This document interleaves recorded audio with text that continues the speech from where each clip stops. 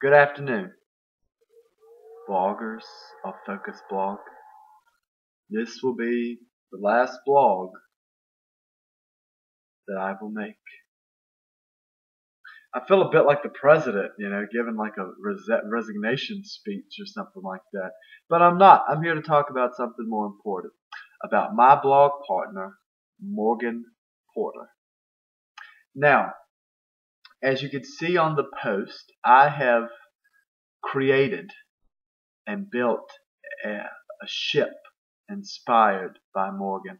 Uh, and just speaking about her characteristics and her um, motivations and inspirations, Morgan is a great inspiration to me. Uh, I've never met anyone quite like Morgan, uh, who's so very much devoted to what she believes in and her causes. Um, if more people were like Morgan, there'd probably be a lot less to worry about. Um, I feel like Morgan's a very creative and very artistic individual. She reminds me almost of a leaf. Uh, this is bear with me where I'm going with this.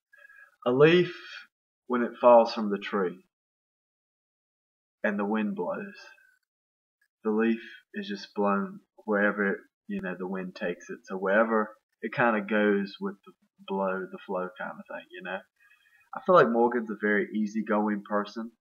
Uh, she definitely just kind of goes with it. Um, but she's also, I think she's got a little bit of sass to her, a little bit of spark in there, which I think is always good to have. Um, so I've never had to, I've never witnessed that side of Morgan, but I'm pretty sure it's somewhere buried in there. A little bit of, I don't think so. but um, she's a great person, a great blog partner to work with. We've had some great ideas, and she's just been phenomenal to work with. So thank you, Paulette, for putting us together. Um, to give you a recap, I'm just going down the list here about our pre-Thanksgiving story and the story that Morgan told and how it affected me. Uh, her story was very interesting. It was, I think, it was a very personal story, and she opened up to people that, you know, some folks might have felt a little uncomfortable sharing personal stories like that. But Morgan felt comfortable enough with us to share this story about her father and you know the church and just some inner struggles she had growing up, which I could relate to her story.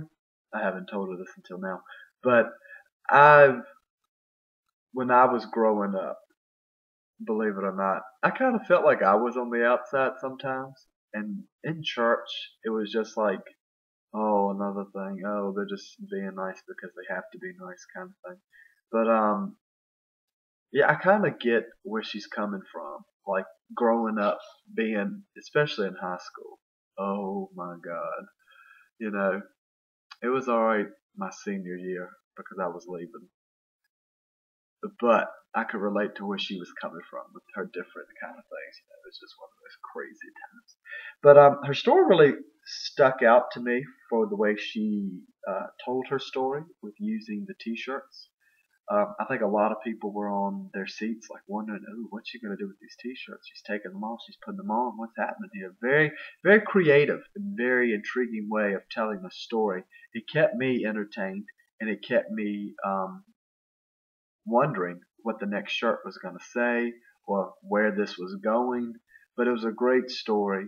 Um, like I said, a very personal story about um, just coming to terms with oneself and realizing you know that life is not as easy as we want it to be. And there are obstacles along the way but Morgan has overcome those obstacles and she's done a terrific job. And she's an all I think she's a great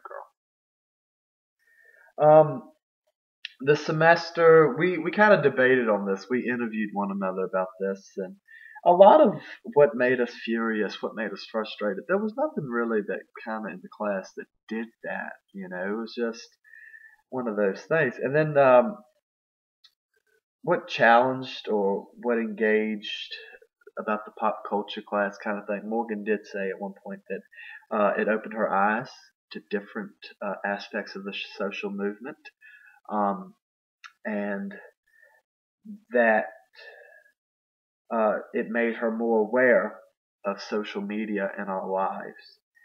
Um, and also a key person that stood out to Morgan is Ah Weiwei.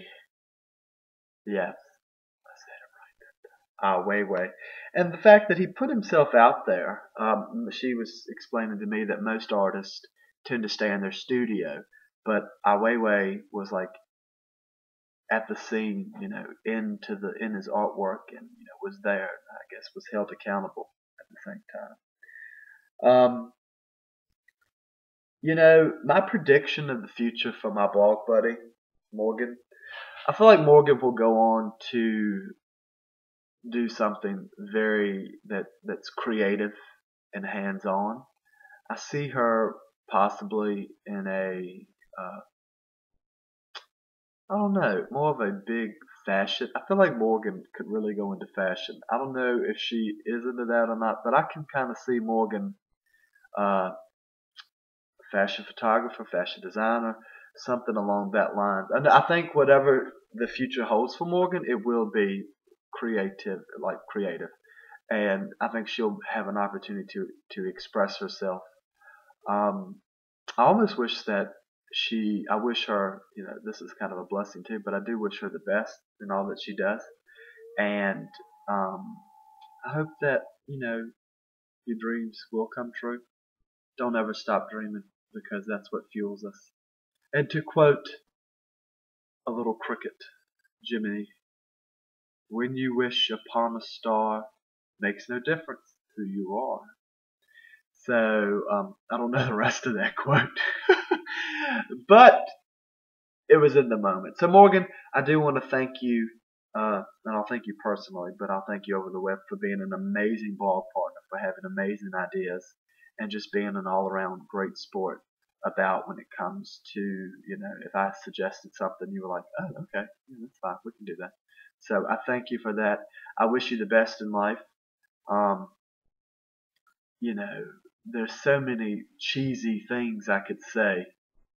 Um, there's a lot of cheesy songs. Actually, I wish I had one to play. Like, boom, just press the button to play. But I don't. And so, um, we always do at camp.